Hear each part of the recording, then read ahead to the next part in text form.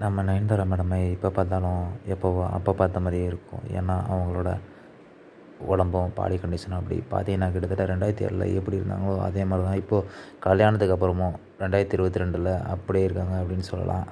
Because பார்த்தீங்கன்னா அவங்களோட பாடி பார்த்திங்கன்னா செம்மையாக இருக்கும். அவங்க கால் பாருங்களேன் அவங்களுக்கு சொன்னாலே தெரியுது இல்லையா? அவ்வளோ அழகாக இருப்பாங்க ஸோ இவங்க விக்னேஷ் சிவனை கல்யாணம் பண்ணதுக்கப்புறமும் இப்போவும் இவ்வளவு அழகான அந்த எழில் கொஞ்சம் ஒரு அழகோடு இருக்காங்க அப்படின்னா அதுக்கு காரணம் ஒரு நேச்சர் இயற்கை அப்படின்னே சொல்லலாம்.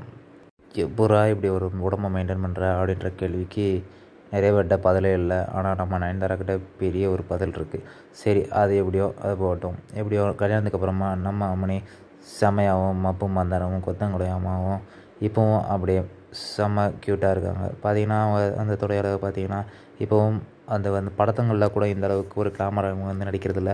ஆனால் கல்யாணத்துக்கு அப்புறமா தன்னோட ஹஸ்பண்டோட எவ்வளவு அழகாக அவங்க வந்து ரொமான்ஸ் பண்ணுறாங்க அப்படின்றத வந்து அவங்களோட இன்ஸ்டாகிராம் பக்கத்தை நம்ம ஃபாலோ பண்ணுறதுலேயே நமக்கு வந்து நல்லாவே தெரியுது. அது மட்டும் இல்லாமல் நம்ம விக்னேஷ் சாரோட அந்த இன்ஸ்டாகிராம் பேஜை நம்ம ஃபாலோ பண்ணாலும் நமக்கு வந்து இவங்க எவ்வளோ அந்யோன்யம் அந்யோன்யமாக இருக்காங்க அப்படின்றத இந்த போஸ்ட் மூலமாகவே நமக்கு வந்து தெரிய வருது. ஏன்னா அவ்வளோ அவ்வளோ க்ளோஸான ஃபோட்டோக்களையும் அவங்க வந்து வெளியிட்டுருக்காங்க அது மட்டும் இல்லாமல் இப்போ ரீசெண்டாக இவங்க வெளியிட்டிருக்க இந்த ஃபோட்டோ தான் பயங்கர வைரலாக இணையதளத்தில் பரவிட்டுருக்கு. பார்த்தீங்கன்னா அந்த மஞ்சள் கயிறோட உள்க அந்த தாலியும் கழுத்தமாக இந்த மாதிரியான ஒரு குட்டையான ஒரு உடையை அணிந்து கொண்டு அது மேலே ஒரு ஜீன்ஸ் டாப்பை இப்படி ஒரு அரைகுறையாக லைட்டாக திறந்து போட்டுட்டு சும்மா அவங்க கொடுக்குற இந்த போஸ் வந்து பார்த்திங்கன்னா செம்மையாக இருக்குது அப்படின்னு சொல்லலாம்.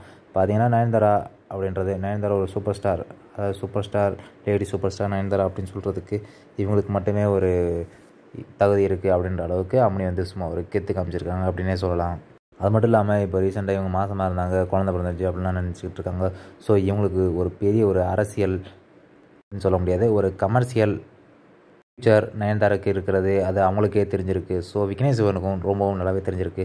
ஸோ ரெண்டு பேருமே ஒரு அண்டர்ஸ்டாண்டிங்குள்ளே வந்துட்டாங்க அப்படின்னே சொல்லலாம். அது எப்படி நமக்கு தெரிய வருது அப்படின்னு பார்த்தீங்கன்னா இவங்க ரெண்டு பேரும் ஒரு முழு மனதோட ஒரு வாடகை தாய் மூலமாக குழந்தைய பெற்றுக்கலாம் அப்படின்னு சொல்லிட்டு முடிவு பண்ணியிருக்கிறாங்க. ஸோ அதன் மூலமாக இவங்களுக்கு வந்து குழந்தை பிறக்கும் பொழுது இரட்டை குழந்தைகளாக பிறந்திருக்கின்றன அந்த மகிழ்ச்சியான தருணத்தை இவங்க வந்து அழகாகவே இவங்க தங்களோட அந்த இரண்டு குழந்தைகளோடையும் அந்த மகிழ்ச்சியான தருணத்தை பகிர்ந்து கொள்ள அந்த ஃபோட்டோவை தான் இப்போ நீங்கள் பார்த்துட்டு இருக்கிறீங்க நம்மளோட இந்த வீடியோ உங்களுக்கு பிடிச்சிருந்துச்சுன்னா லைக் பண்ணுங்கள் நம்ம சேனலை சப்ஸ்கிரைப் பண்ணாமல் இருந்தீங்கன்னா மறக்காமல் சப்ஸ்கிரைப் பண்ணிட்டு அப்படியே பக்கத்தில் உள்ள அந்த பெல் ஐக்கான் பட்டனை கிளிக் பண்ணி விடுங்க